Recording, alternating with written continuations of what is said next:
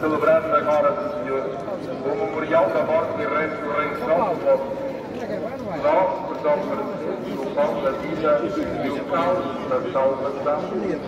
damos graças porque nos atendemos da vossa presença para neste santo mistério. Humildemente vos suplicamos que participando no corpo e sangue de Cristo sejamos reunidos pelo Espírito Santo num só corpo.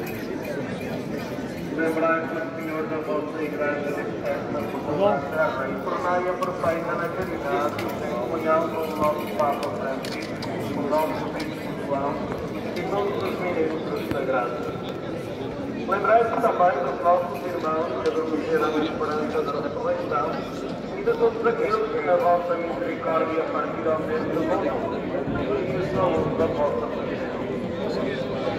misericórdia de nosso Senhor, e dá-nos a graça de participar na vida eterna. Com a Virgem Maria, Mãe de Deus, nosso Senhor da Finança, Santo Velho e Moço, bem-aventurados a nós, que desde o